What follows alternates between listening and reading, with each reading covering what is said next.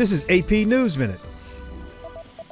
Virginia Governor Ralph Northam is vowing to remain in office despite widespread calls for his resignation after a racist photo surfaced in his yearbook page from more than 30 years ago. Northam said at a news conference Saturday that he had prematurely apologized for appearing in a picture of a person in blackface and another wearing a Ku Klux Klan outfit. He insists he was not in the photograph. Russian President Vladimir Putin says Russia will abandon a key nuclear arms treaty following in the footsteps of the United States. But Putin says Moscow will only deploy intermediate range nuclear missiles if Washington does so.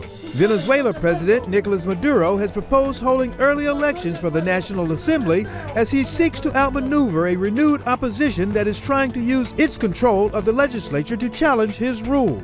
Maduro, in a speech to supporters Saturday, said it would be up to the pro government Constitutional Assembly to decide whether or not to back his proposal.